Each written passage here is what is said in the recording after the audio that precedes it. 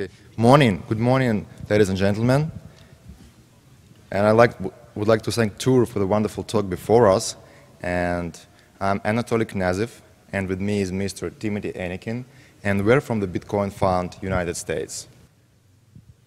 We represent big and boring, according to Tuur. Yours truly. So the first thing we're going to talk about, and we should mention in the context of the Bitcoin Fund, is that this is not an offer to invest. This is an example of one of the things that Tuur was talking about, how to invest in Bitcoins. And more particularly, the Bitcoin Fund US is, is an example of how access to Bitcoins is being facilitated beyond people who are familiar with flash drives, e-tokens, encryption schemes, international bank transfers, Mount Gox, whatever the hell that is, and a whole bunch of other concepts that are difficult for your aunts, uncles, grandmothers, brothers and sisters to understand. So, there's a little disclaimer. Please speed read it. There will be a test. You will not be allowed to leave the room until you answer seven questions correctly. How does it work? It's a fund. I should say, based on the various folks that have visited our stand, it's not a private equity fund. It is not a venture capital fund. It is not a seed fund. It is a fund that people invest in. A standard investment fund the key. The key to remember is one share in the Bitcoin Fund US is equal to one Bitcoin.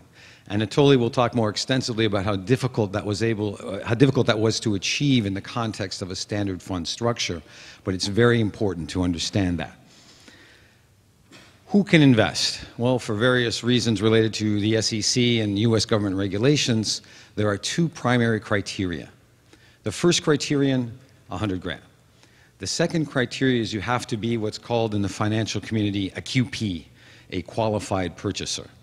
You have the concept of accredited investor, it's a million dollars in assets, including your house. You have the concept of qualified purchaser, it's $5 million of investment assets. Unfortunately, for various legal reasons, we're restricted to that, at least at the moment.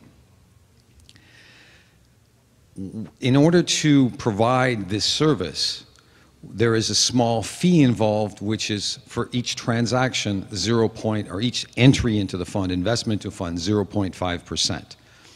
Thereafter, the fund functions like a currency fund. And if from a legal perspective, Bitcoin were considered a currency, the fund is considered or would be considered a currency fund. Let's say, for instance, you want to invest in the South African Rand. There are two ways of doing that. You can open an FX account, transfer your money to the FX account, and then purchase RAND, with or without leverage, depending on how you want to approach that investment. The other way of buying RAND is to buy shares in a RAND fund. And it will have a similar structure. You invest money in the fund, that fund buys RAND. You want to redeem your investment, the fund sells RAND and gives you your money back. It's an easier way of doing it. It doesn't involve opening a new account. It doesn't involve wiring money. It doesn't involve understanding a whole nother market. And if that sounds similar, it's exactly why there are trillions of dollars invested in currency funds today instead of being invested in currencies. And that's really the same thing we're proposing to do. Importantly, the most important aspect to continue the match of one fund share to one Bitcoin is there's no management fee, and there's no success fee. So if you're familiar with hedge funds, and people in this part of the world generally are, there's often a 2 and 20 structure, a 2% management fee, a 20% success fee. That means by definition, if the underlying asset increases, the value of the investment will increase less because there's this haircut every time. There is no such haircut. There are no fees associated with this fund other than the 0.5% load, if you would like to call it that, to cover operational costs. And with that, Anatoly will explain why we need such a structure. Thank you, Tim. Yeah, I'm pretty sure a lot of you, maybe at least a lot of you, technically savvy guys and girls, have purchased bitcoins through exchange or locally with cash directly without any kind of a proxy hedge fund. And you have a question naturally. So why does the world need a hedge fund to invest in Bitcoin to begin with? Well, there are several groups of reasons. I'll start with the ones that are unique to Bitcoins. And firstly, it's really easier to have an account with our fund than to buy Bitcoins on an exchange, especially if you are a high net worth or institution. So we can process your application for an account in a matter of hours. And as soon as we do the AML and KYC procedures, you are good to send in the monies. And they will usually, will usually hit our accounts actually same day or the next day if you use a decent bank from the United States.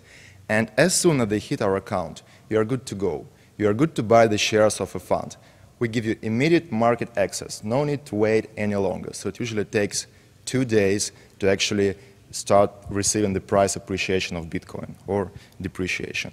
We're able to give you immediate market access because we, as a large player, have great relationships with the exchanges, all the major of them. So we, me personally, the guys from our team, visit them in person, we speak with them, we explain our business, we learn about their business, we do our credit checks, we establish credit limits on them, and we trade. As soon as we get the physical coins, we transfer them to our, to our cold storage. We use all of the state-of-art precautions to make sure that the physical coins are safe and secure.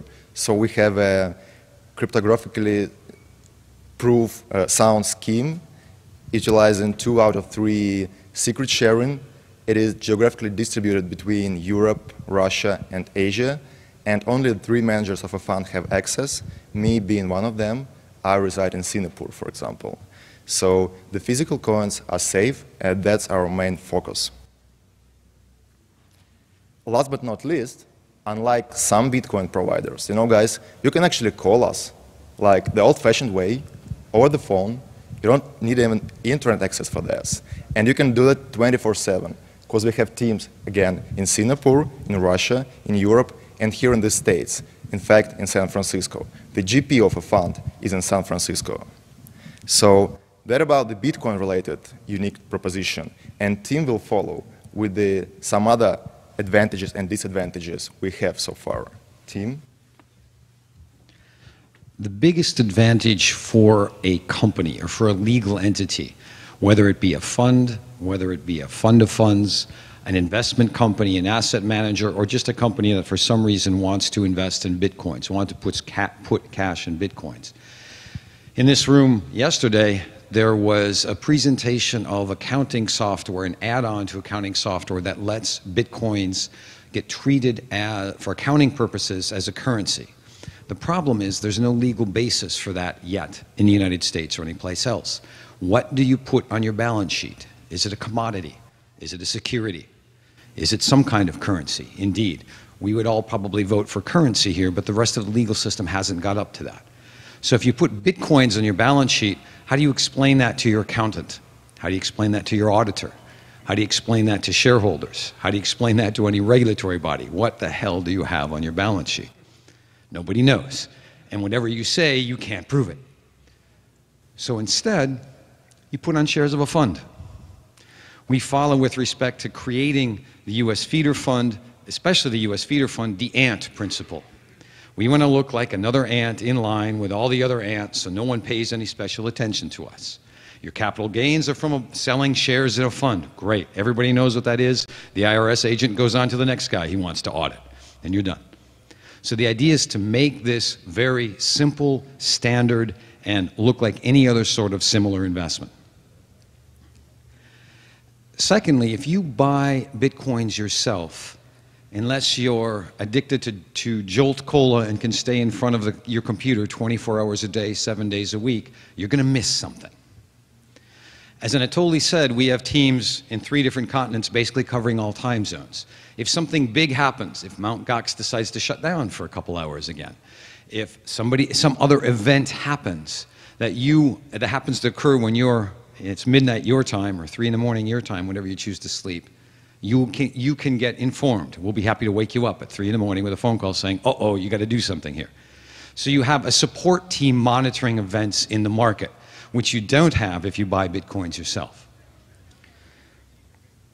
Also, we've talked about QPs and fairly large amounts of money have to be invested in this, but the Bitcoin market is fairly illiquid, which means you can move it.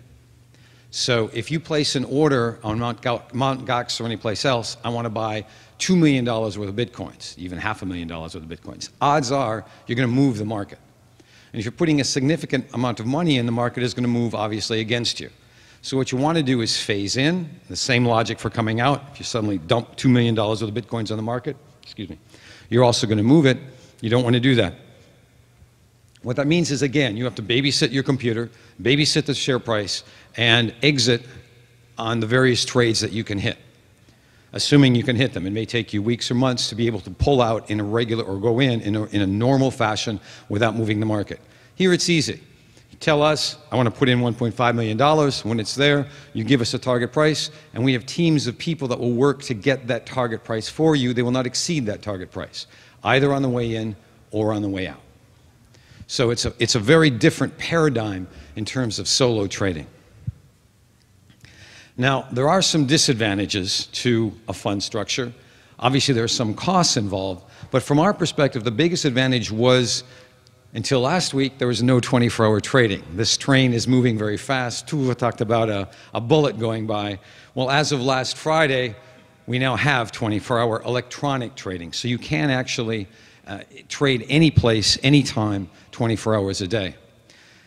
The other disadvantage still exists, although technically it doesn't have to. In other words, if you invest in a fund and a fund has some underlying assets, many funds, perhaps even most funds, have an option to distribute in, to make in-kind distributions. In other words, you put in money, the fund bought South African Rand, you want to get your money back, but you want to get it back in the form of South African Rand. So you have a distribution of in, in kind.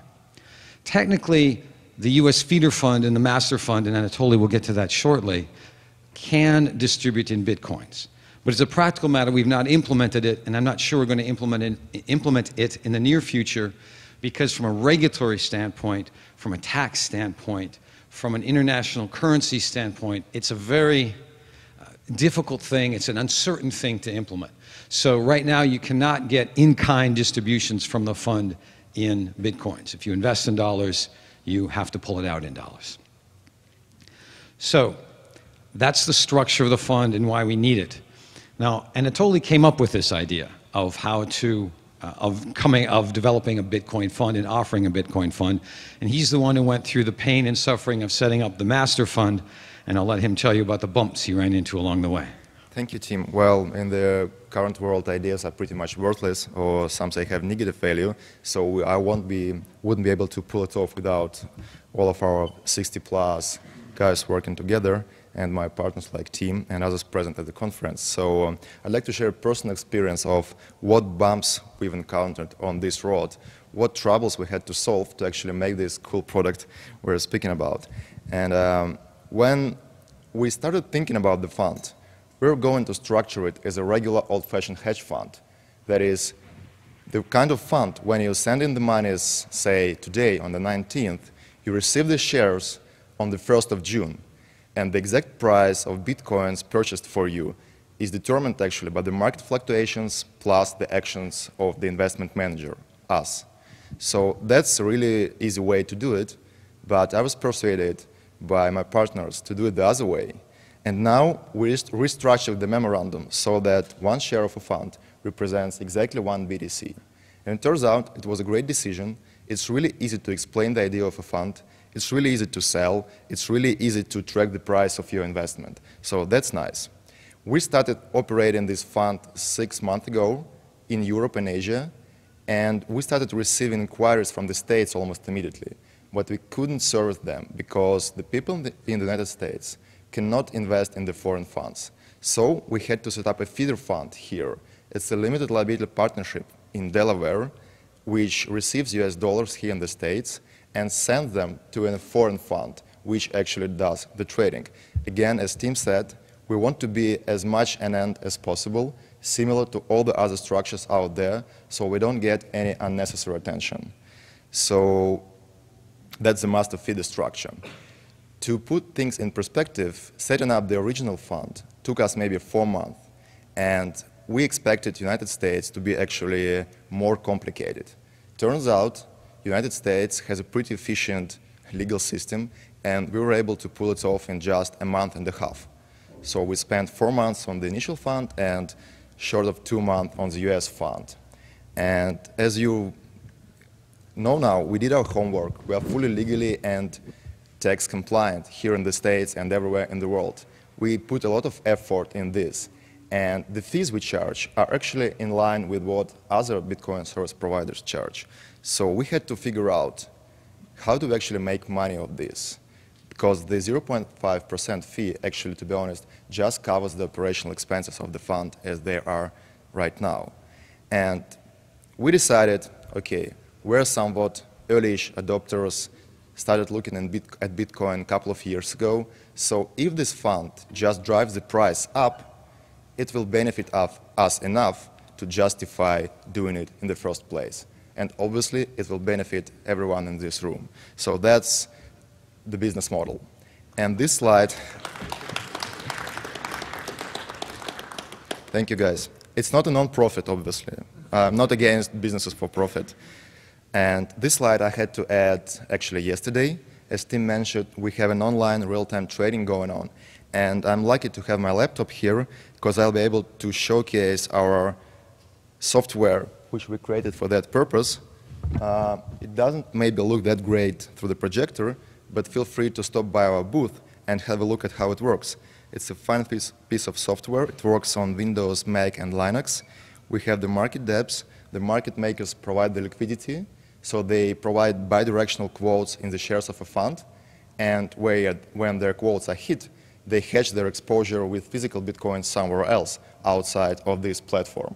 So investors in the fund can either trade over the phone or through this platform. That's cool, I guess. So we've talked about the present, the past. Let Tim cover the future, I guess. Thanks, Anatoly. So we know where it came from, we know why we have it. We know generally how it works. What are our future plans? Well, we left this in just because the feeder fund is about a week old, and that's our latest development. Obviously, the timing of that, we wanted to get it up and running before this conference. That was very important for us for obvious reasons. We would like to do, call it a classic ETF. The master fund is traded on an exchange in Europe and it can be traded on a daily basis. It technically has an NAV that's monthly, but there's a secondary market. So to the investors who are allowed to trade on that fund, and that is, it's actually the same thing, sort of the European equivalent of a QP, for those sort of investors, it already is, who can trade in Europe, but it already is an ETF. But here we're talking about a classic ETF that would be open to more retail level investors. The disadvantage of that is there are more costs involved, and as a result of that, the fee structure has to be different. We're thinking about how best to work that out, again, to give the general public easier access to bitcoins, not so much for spending as for saving or investing. The other aspect we're looking at is a trading fund. Now, as you know, there are, I'm sure most of you know, there, it's possible to short Bitcoins. It's possible to do a little bit of derivative trading in Bitcoins, but you have ex excessive counterparty risk. You have very little market depth and liquidity, and it's not, the, those markets aren't efficient, they're slow, so it's not really something that you can use effectively to create a classic hedge fund using the definition, the strict definition of the word hedge as the market develops, as it broadens and deepens, it will become more practical to trade in bitcoins as you trade in a currency, as you trade in a commodity, or even in stocks, if you're shorting stocks or doing options or index trading. So that's another direction we would move, and that would be a separate vehicle. It would not be just a straight up currency fund. The last thing we're looking at doing is because we have almost 100,000 bitcoins in the master fund, is acting as a source of liquidity and a counterparty for other people's transactions. So potentially doing short or derivative transactions where we would act as the source of bitcoins. Again, it's not something that's the some, that's an aspect of this which is furthest in the future because of the potential risks involved in that, given a very shallow, uh, shallow market, a very new market, and as of today, compared to most other markets, a very inefficient market. That's the future. That's what we're looking at, uh, considering doing. And with that, I'd like to thank you very much for your attention. Keep in mind, this is not an offer to invest. You have to answer the questions before you can leave. And if you have any questions for Anatoly or myself, please feel free to ask them. Thank you. Very good. Thank you.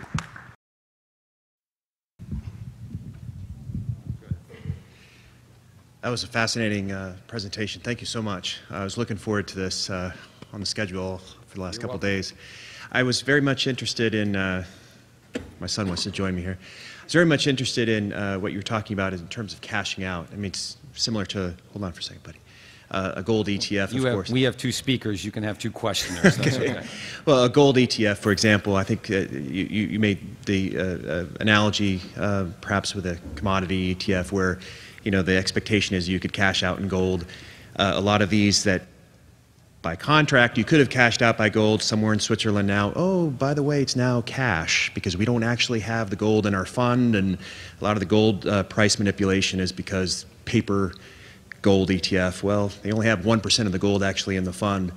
So, just to be clear, and I think you made it clear, but just for my own clarity's sake, uh, that one percent, uh, or excuse me, the one share per one Bitcoin, when you put, do put it in cold storage, there is the Bitcoin there, Yeah. right? There's not going to be Yeah, this exactly. like, paper mythological Bitcoins, right? If actually you look at the list of the largest Bitcoin wallets, we are the second one, and the amount of coins we have is 97,000 something. Mm-hmm. So it's pretty easy to figure out if we are keeping our promise or not. And Right. we're being very transparent from the very beginning, and with the fees and the cold storage and everything. okay, thank you very much. That was You're welcome. Jaden, go ahead.